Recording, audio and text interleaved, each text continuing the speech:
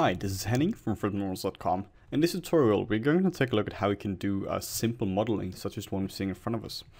It's going to be using a fair, a fair set of fundamental modeling techniques, and while this is a fairly easy model to do for somebody advanced, uh, if you're a beginner, doing something like this can be tricky, at least getting a clean, nice result, uh, which is fast. As with a lot of other tutorials, uh, this is uh, a universal technique and it will you can do it in pretty much any application.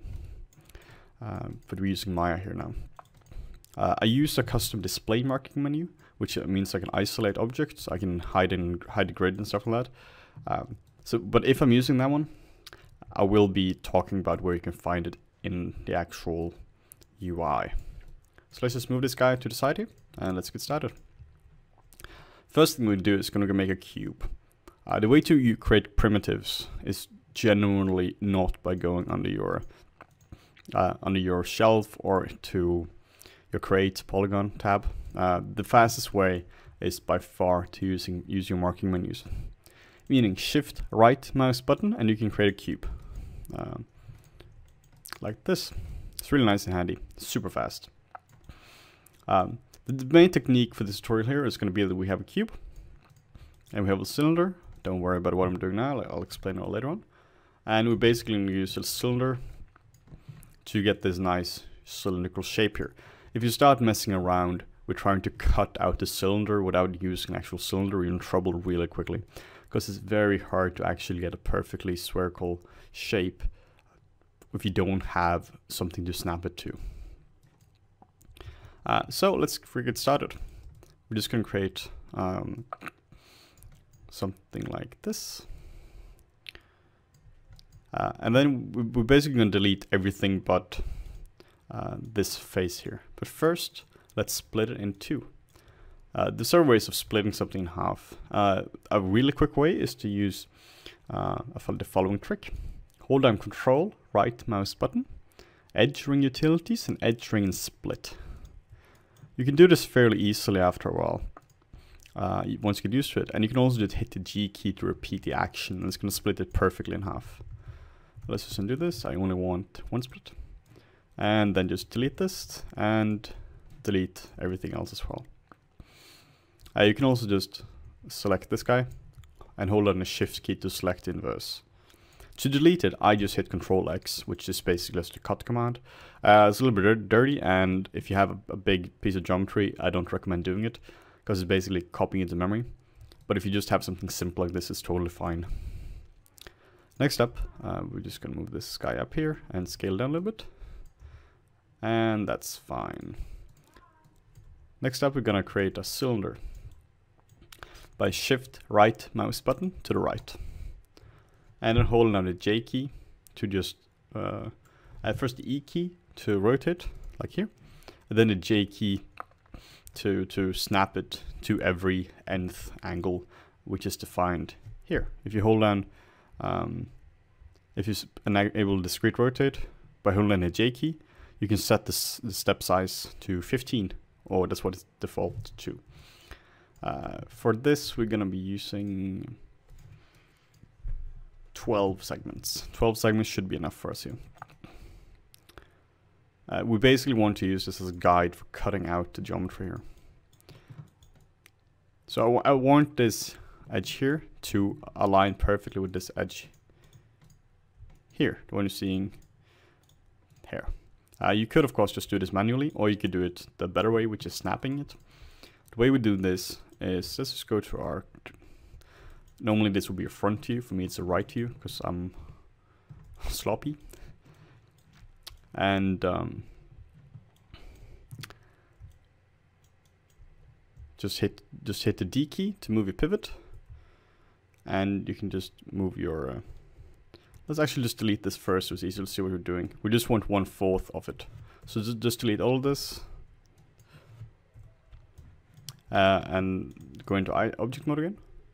And now just hold down the V key and just snap it to this bottom edge here. If your pivot is somewhere off like here and your item is like this, whatever, uh, you can just hold on the D key, move it here and snap the pivot down, then hold it on the V key and snapping it down again. This is something you do all the time and is really handy and fast. So um, what I'm going to do now is I'm going to cut, uh, first let's just make sure I don't have any junk here. I only want the front face. Control X, that's fine.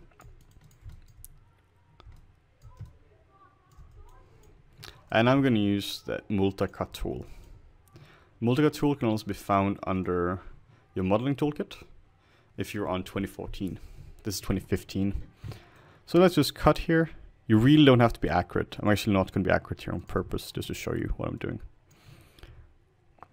Sorry about that. I accidentally cancel it. Let's just cut it. One, two, three. Okay, hit enter and you can now can have it. Now just select these and just snap them back so it fits the cylinder. Hold on the V key.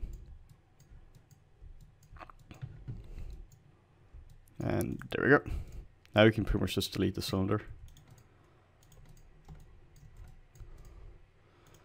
Just move it a little bit back so we can select it, then delete it. And now we want to connect, uh, and now, now we want to, we need to connect uh, this out here so there's not an n-gon. But first we're just going to select it all and then use the bevel tool to just create like a nice little bevel here. You can do this by a hotkey. I have it to Alt B, or you can use use under bevel um, or mesh editing tools under modeling toolkit, or just shift right mouse button and then drag to the right, like like so. Bevel edge. So that's pretty nice.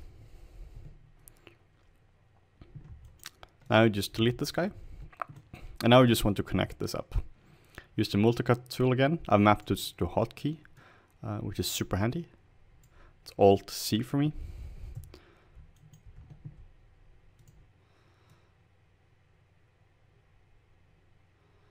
And approximately there.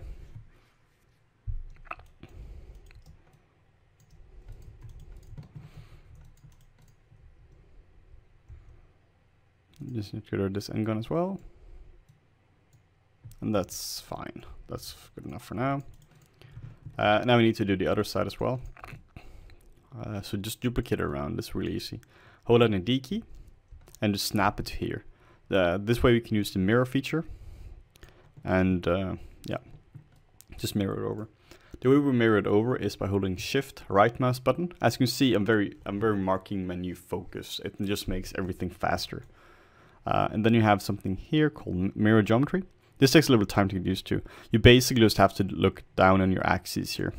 Uh, you see this little widget down here? Uh, now you can see which axis it's active on. So you see this is going in a positive set direction. So let's just do this and um, positive set. And there we go. You see a problem though. It's merging. It's merging the um, the cut as well, but we don't want that because um, it's, it's merging to a distance of which is too high. So just go onto the, the, the node current which is just created and just set merge threshold down. And there we go. And it's looking mighty fine. Um, actually, before we did this, we should have just added a loop here for it as well. Because we need that now. But it doesn't matter, it's quick to add a loop. Uh, now let's just give it some depth. Select everything, extrude, and just move it inwards. I just moved it on the wrong axis, so it was flipping the normals. Um, th that would have been an easy fix, just by going under your... Um, just put on our um, normals and reverse normals. So let's just add a loop here again, and loop there. Then it's gonna look nice. Uh, we can also just bend it so it has like a nice little bend like this guy has. Uh, this is very easy to do. We just add a bend to it. But first, let's just add a little loop there and loop there to sharpen up. And there we go. It looks nice and subdy. The problem is now if you add a bend to this, it doesn't have enough geometry to actually do much. Uh, so we could of course manually just add loops, or we can just uh, add a smooth to this, which you can find there. And now it has plenty of geometry. At least enough to bend properly. Uh, so the way we bend stuff is using our bend uh, operation, which you can find on animation, or bend deformer rather, animation, uh, create deformer, non-linear, and bend. Now you see this little strange widget popping up, and by default it's doing nothing. Uh, go to the inputs and just set a curvature of something like 30 degrees, and you can see it's doing something. Uh, it's bending the wrong way, which means either we just move everything around, we just move the model around afterwards, or you just set it to negative 30. Uh, sorry about that. Um, negative 30. And now we can just move it down as well a little bit. Let's just move it down to to the bottom point here. We can just snap it so it fits. There we go. Uh, we can set this to um, even further, minus 45. And that's it. That's a nice little bendy thingy. Uh, add a subdivision to this. And that's it. So very simple, a very simple little trick, but this is something you're going to do a lot of. Uh, you, uh, Uh, it's basically a technique where you you need to cut out a perfectly cylindrical hole or circle hole into something and you use, use some kind of hold out geometry to use the basic shape and you just snap it back to it. So I hope this is useful and if you have any questions feel free to contact us and check out our other tutorials.